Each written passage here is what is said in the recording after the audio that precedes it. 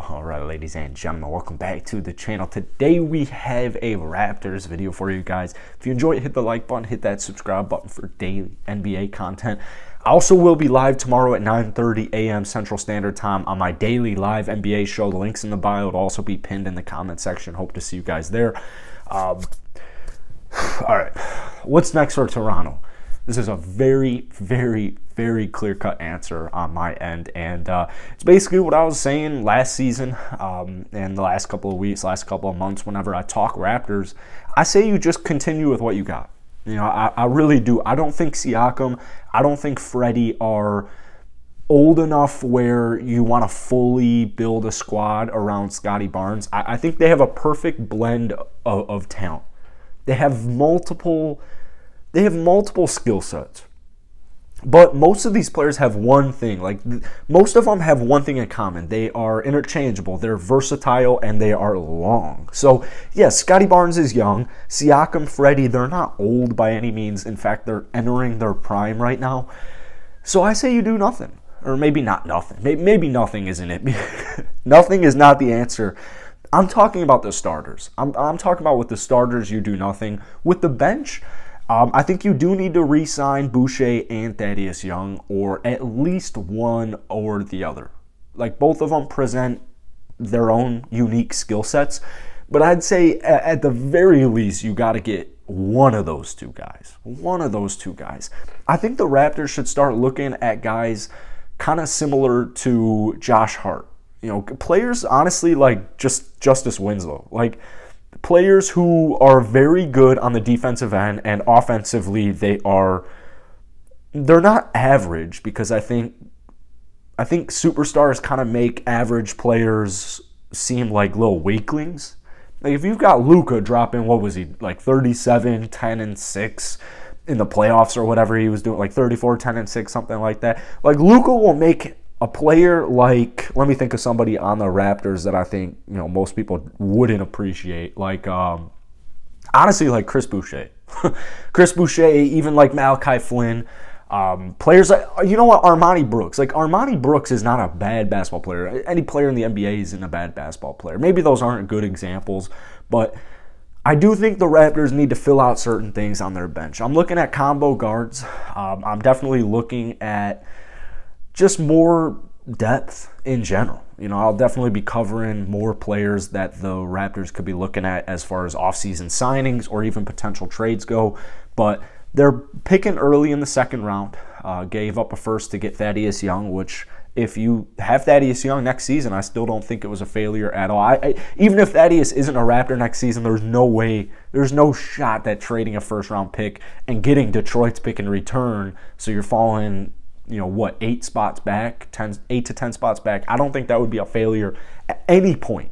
It was a success. Maybe it wasn't a massive success because you didn't get you know a player like eric gordon or Caris LeVert that statistically points per game wise is going to like whoa. But raps fans know how important and critical thaddeus young was once he was acquired at the trade deadline and even into the playoffs and a little bit of a run a little bit of a comeback run that they made. So you know, as far as the start, I don't want to talk about the bench the whole time because, like I said, I'll get players in cert in videos in all off season. Like if you've been following this channel, you, you know the deal. Like players like Dwight Powell. Like we'll make whole videos about you know should the Raps sign Dwight Powell. As far as the starters go, I, I genuinely don't think you change anything. Um, I really don't. You know, I've made some videos the past couple of weeks talking about you know possibly picking up DeAndre Ayton in a sign and trade or possibly you know, trading away a guy like Freddie V for Dyson Daniels or putting yourself in a position in the draft to get a guy like Dyson Daniels. I'm huge on Dyson. And this gets me to like my over like my overarching point here. I trust Masai. I, I, I know he knows what he is doing. Like he is a G, bro. Masai is a G. And so I have full faith in him.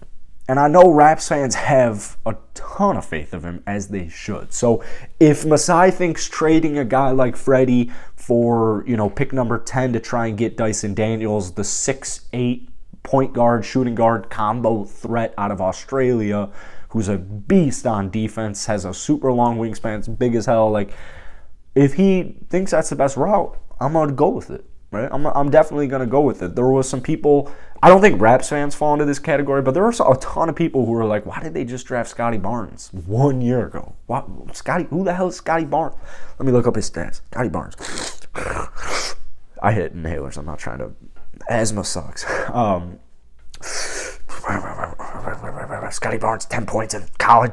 Bomb, Masai, fire Masai. You know, team's going downhill no Raps fans were really doing that because once Raps fans Googled Scottie Barnes, if they hadn't already had their eye on Scottie Barnes as a potential number four pick, you were like, um, yeah, he's a part. He, like he's exactly the vision the Raptors are looking at, and so Scottie is gonna be a beast. He already is a beast. So the production you're getting from Scottie Barnes as a rookie, rookie of the year it doesn't it's not like a situation like the the Rockets or the Pistons where you know like from the Rockets standpoint maybe you know 26 year old Christian Wood doesn't have a long term future because he's soon going to get paid and the Houston Rockets are a couple of years away from contention and you just you know they got young lottery picks coming like it's just a completely different scenario because you got Freddie who is you know Freddie and Siakam who are both NBA final winners uh, these guys have been in the league. They've been with the Raptors for a very long time now. They know the system.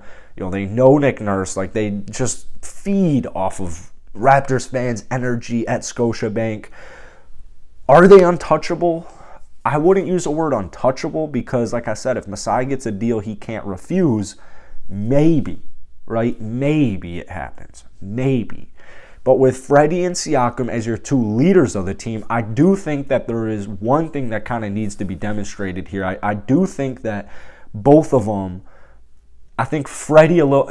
What sucks is like actually, you know what? Freddie got hurt at the end of the season. Siakam, yeah, he might have gotten clamped by Tobias, but he was getting doubled. He was getting tripled. Like the whole rap squad, you know, with Gary, with Freddie, it was a mess. The first couple of games of the playoffs were just a mess. It was honestly, it was a maybe not a miracle, but it was just super impressive that the Raptors were able to end the series the way they ended the series. So, you know, are Siakam and Freddie untouchable? Probably not, but they're like the they're like this next thing under untouchable. So, you got those two guys, and then you have a young gem of a stud in Gary Trent Jr., who, I mean, defensively like he led the league in steals for like half of the season. Um, you know, defensively he made a lot of improvements. He's a little bit of a streaky shooter, but that's what shooters are. Sometimes they can be a little bit streaky unless you're like one of the greats. Like Steph Curry, Steph Curry goes through his streaks. He goes through his slumps. So as Gary Trent Jr. continues to get older as he continues to develop and progress, which is kind of the purpose of this video, is just continue to develop, continue to progress these guys, get them into the system, getting the chemistry up with your boys, maybe bringing in some intriguing pieces to come off of the bench, guys like, you know, Dwight Powell, you know, Caris LeVert, I think the asking price would be too high. Eric Gordon asking price too high, but you know players like that, maybe even a little bit more on the veteran side, maybe like one guy on the more veteran side, a guy like Eric Gordon who could just kind of take over playmaking duties off of the bench. But moving on down the line, lastly we got OG Anunoby. Um, there's no shot in hell I want the Raptors to trade this dude. OG is one of the players in the starting lineup where if the Raps trade him, I think they would be making a huge mistake. I genuinely think this guy, you know, is he the next Kawhi Leonard? You know, probably not. You know, Kawhi Leonard's one of the best players. How can you not love OG? Like, how can you not love? I sometimes I'll see these trades on like Instagram, clearly not made by Raptors fans or Raptors viewers. Clearly, and this is something we talked about all last season when I first started making Raptors videos, was like, does anybody outside of Canada or outside of a Raptors fan watch the Toronto Raptors? Because it doesn't seem like it. You'll see some of these trades, you'll be like, what? Siakam and Freddie for like some random ass, like Miles Turner and Malcolm Brogdon and like a future first for Siakam and Freddie. Like, what am I reading right now? So, I, I just genuinely think like OG, you know, he was one of like the first couple of games of the playoffs, he was their best dude. He was that guy. He stepped up when he really needed to step up. Defensively, don't even need to mention how good he is there. Three point shooter, 40% three point shooter. Like he's coming into his own. And what really sucked about OG this past season was just he caught, kind of caught the injury bug. You know, the whole Raptors squad caught the injury bug, and it it wasn't like the Raptors didn't really deal with like a long term, you know, like oh shit, that injury sucks, like a AC torn ACL type of thing. It was more of like, damn, like OG just you know hurt his elbow, you know, Pascal just hurt his groin, or Freddie just hurt his groin. Like, it's just minuscule stuff like where they were just never really healthy at any point in the season. So definitely don't trade OG and Anunoby. Don't trade any of the starting five players. Do not trade any of the starting five players, and I highly doubt that they do highly, highly doubt. Even like a Rudy, even if you have the opportunity to get a guy like Rudy Gobert, I have so much hope and faith in Precious Achiuwa and how much he developed, not only from last season to this season, but just from the start of this year to the end of this year, like holy shit, dude. This guy shot 40% post All Star break from downtown. Took two threes until he got to Toronto in his entire career. Crazy.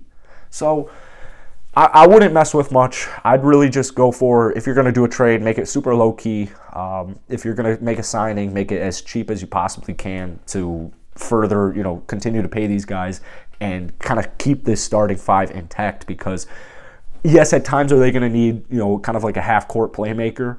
You know, if Freddie, Gary, if they're not able to create too much, yeah, like, you know, that that's when you throw in a guy like you know, Caris LeVert and Eric Gordon aren't my two options, but you kind of get what I'm saying. They're like a combo guard off of the bench who can just kind of come out there and score for you and provide that jolt off of the bench. So let me know what you guys think. Just kind of spitballing stuff here before we get into full on Raptors offseason content. And uh, hit the like button, hit that sub button, and I will catch you guys later.